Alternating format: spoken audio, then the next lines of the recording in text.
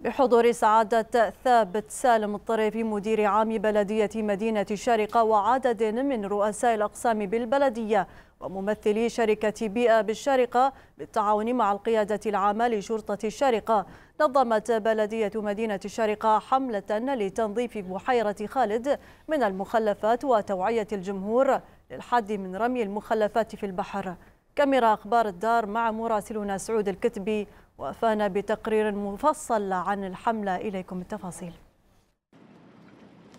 في أجواء ممتعة ونسمات البحر الجميلة ابتدأت بلدية مدينة الشارقة صباحها بحملة لتنظيف بحيرة خالد وجاءت هذه الحملة انطلاقا من حرص البلدية للحد من الأضرار الناجمة من رمي المخلفات في البحر. وتجسيدا لرؤية القيادة الرشيدة للإمارة في أهمية نظافة البيئة البحرية والحفاظ عليها من المخلفات التي تتسبب بتلوث البحر وصعوبة انتشالها مستقبلا. طبعا تأتي هذه المبادرة وفقا لتوجيهات ورؤى صاحب السمو الشيخ الدكتور سلطان بن محمد القاسمي عضو المجلس الأعلى حاكم إمارة الشارقه حفظ الله ورعاه بأن تكون مدينة الشارقه مدينة عصرية نظيفة مثالية للعيش. وكذلك تأتي هذه المبادرة من ضمن مبادرة مدينة التي تقيمها بلدية مدينة الشارقه على مدار العام. وفي إطار جهودها المتواصلة لنشر التوعية المجتمعية بأهمية البيئة البحرية المحلية والحفاظ عليها انطلقت الحملة من على ضفاف بحيرة خالد. بالقرب من مسرح المجاز مرورا بسوق الجبيل بالشارقة وشارك في الحملة الكثير من مديري الإدارات بالبلدية لما لمشاركتهم من دور كبير وانعكاس إيجابي وتشجيع للجمهور.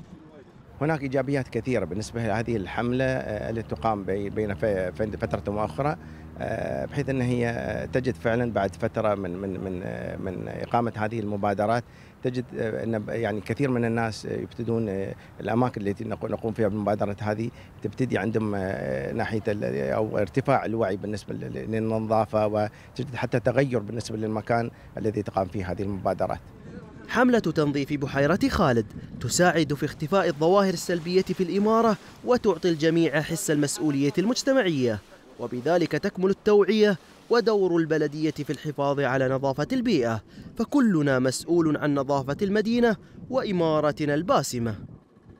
ضمن جهود بلدية مدينة الشارقة لجعل الإمارة تتلألأ بالجمال وإيصال رسالة سامية عنوانها إصحاح البيئة ومحتواها فلنحافظ على شارقة الجمال. وكلنا مسؤول عن المظهر الحضاري لإماراتنا الحبيبة.